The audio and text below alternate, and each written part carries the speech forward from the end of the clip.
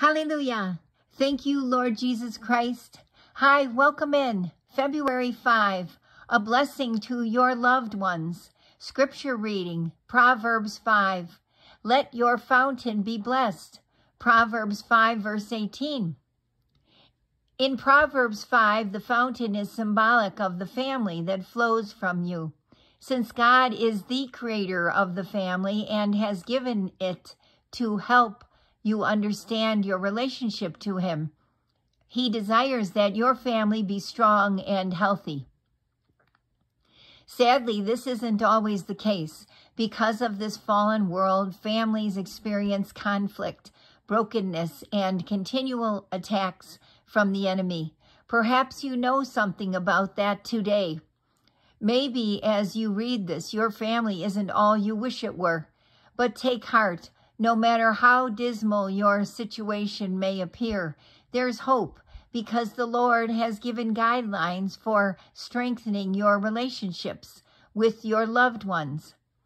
Deuteronomy 6 verses 5 to 7 is God's foundation for a strong family. Love the Lord your God with all your heart and with all your soul and with all your might. These words which I am commanding you today shall be on your heart. You shall teach them diligently.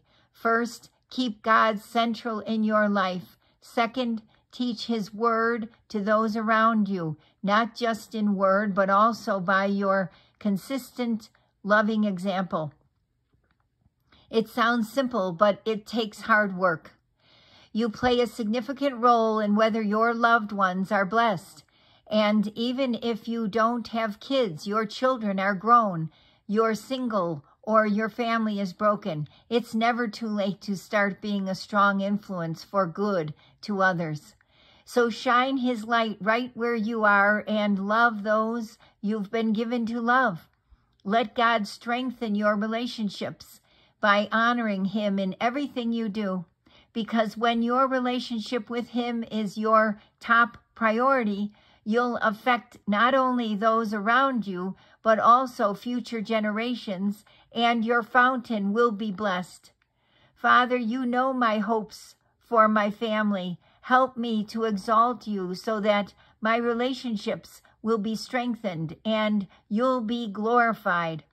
Amen.